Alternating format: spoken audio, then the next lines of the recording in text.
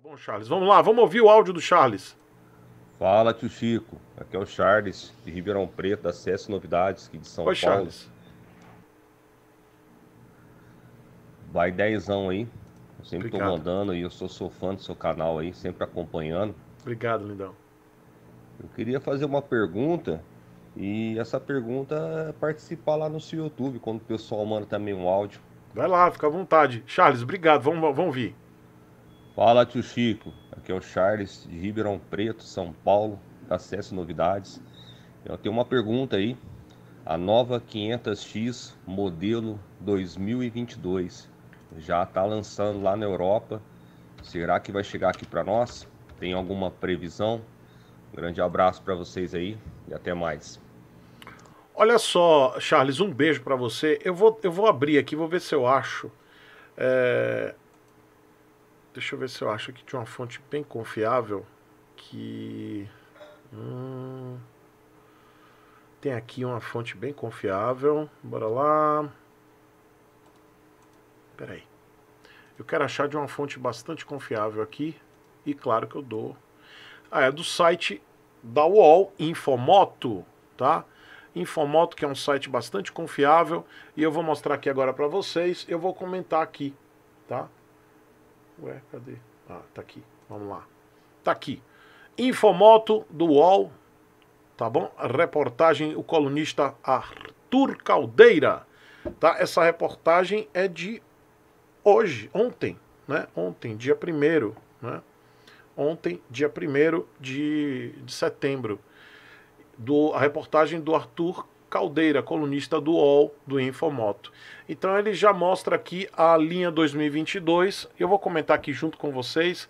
E Charles, obrigado aí pela pergunta, pelo comentário. E ele já mostra aqui as novidades da na ciclística e motor. Vamos, vamos reagir junto aqui a isso. Eu soube, pelo que eu vi assim por alto, é que a CB500X agora vem com é, freio duplo, né? E é, suspensão invertida na dianteira. Então já está falando, as novidades na parte, na parte ciclística incluem garfo telescópico invertido e disco de freio duplo na dianteira. Já o motor recebeu um novo acerto na injeção eletrônica. Segundo a marca japonesa, oferece mais potência em médios giros, além de torque maior na faixa entre 3 e 7 mil. Isso na Europa, tá, gente? Na Europa. Vamos dar uma olhadinha aqui. Hum, é, aí fala de. é, vai falando aqui das especificidades lá da Europa. Hum, é 50,4 cavalos. Lá na Europa, caraca, eu acho que lá na Europa essas motos têm 47,9, é isso mesmo?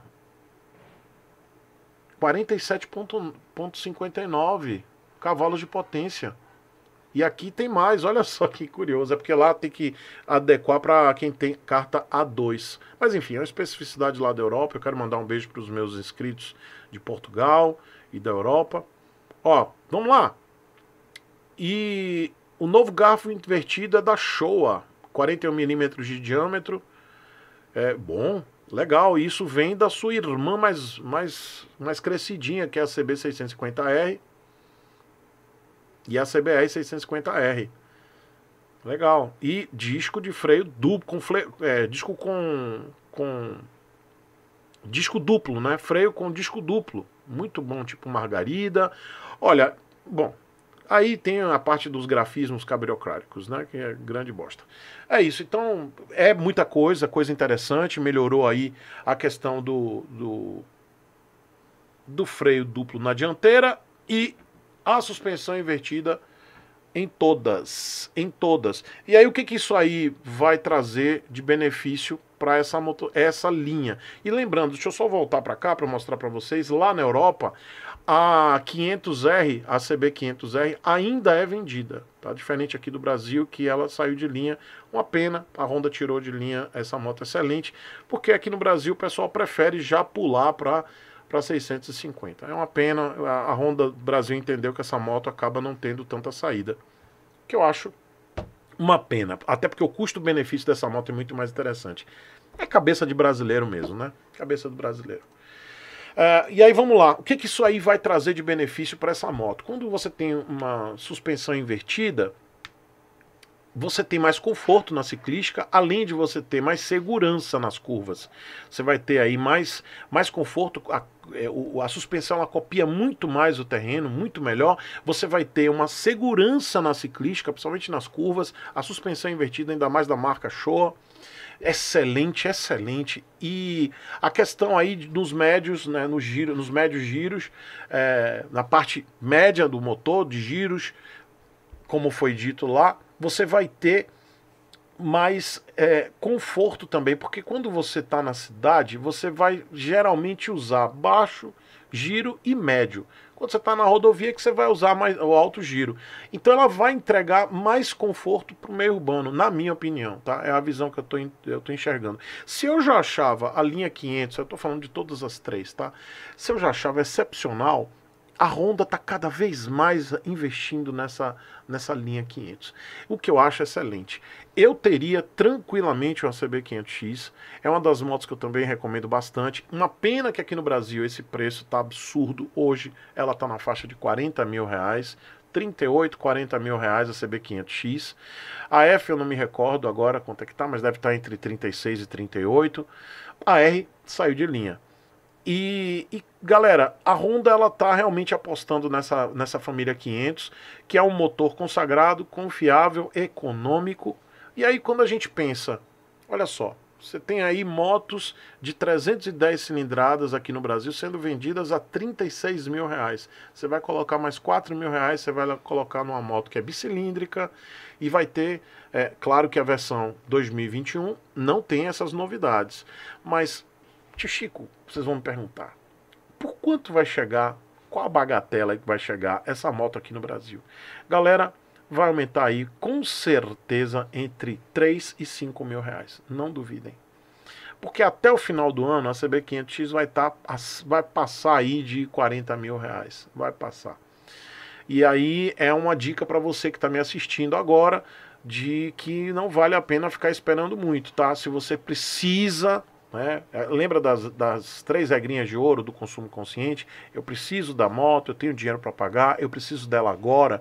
Se for não em qualquer uma delas, não compre. Mas se você realmente precisa, tem dinheiro para pagar, compre, tá? Porque vai vai aumentar o preço. E quando chegar essa nova, essa tanto a X quanto a F aqui no Brasil, vai bater aí os 45 mil reais. Até porque é suspensão invertida, isso aí vai agregar valor, o freio duplo, né, disco duplo na dianteira e essa mexida no motor que vai dar uma encorpada, principalmente nos médios giros, vai deixar a moto. E aí tem os, gra os grafismos e adesivos cabriocráticos, que cada adesivo desse aí, cada vez que troca adesivo é milão. É milão em cima, né? A Honda bota milão. Então ela vai chegar aí beirando os 45 mil. A CB500X, que é a mais cara, né? Hoje, aqui no Brasil. Não vale esse preço, obviamente que não vale, mas tá tudo aumentando, principalmente o aço. Né? O aço, eu estava conversando com. com na, primeiro que eu estava assistindo no, na, no telejornal que o, o aço aumentou 100%. Né? Eu não lembro o período, mas aumentou 100%. Já teve uma outra pessoa que eu conversei que trabalha com isso, disse que aumentou mais de 130% em um ano. Aumentou mais de 130% em um ano. Então isso acaba deixando o mercado louco, o aço aumentando, é, escassez de, de microchip e outros partes da, da motocicleta. E aí fica complicado, gente. Então muitos de vocês me perguntam, tio Chico, eu espero para comprar, espero até a chegada dessa moto, a versão 2022. Galera, eu acho o seguinte, essa versão 2022 lá da Europa vai ser provavelmente a versão 2023 aqui do Brasil. Acredito que essa moto seja essas duas, né, a X e a F, e eu torço para que a Honda volte atrás e traga novamente a, a R. Vamos torcer, que merece, o brasileiro merece ter a R aqui. Eu acredito que ela seja anunciada para o Salão das Rodas 2022. Né? O salão será é, irá ocorrer, não sei como é que vai ser, se vai ser presencial, se vai ser alguma coisa diferente, em novembro de 2022. Então acredito que a partir do segundo semestre de 2022 essa linha seja anunciada para o Brasil como 2023, tá? Então não virá agora. Então se você realmente é, precisa, de uma moto e, e quer comprar a CB500X ou F, compre, porque até lá vai subir bastante, mesmo chegando com essas novidades, vai subir bastante. E a atual é muito boa também, tá? Não tem, eu não tenho crítica nenhuma à atual. Quer dizer, uma crítica que é aquela questão da bomba d'água, né, que vaza.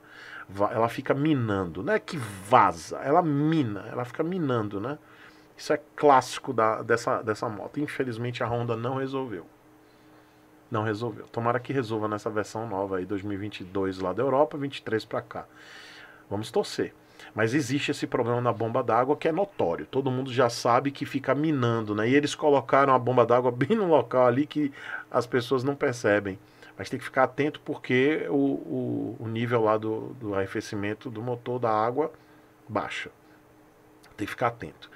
E preço vai ser esse absurdo, 40, vai chegar aí beirando os 45, hoje já está já tá passando de 40 mil, 38, 40 em alguns lugares até mais caro.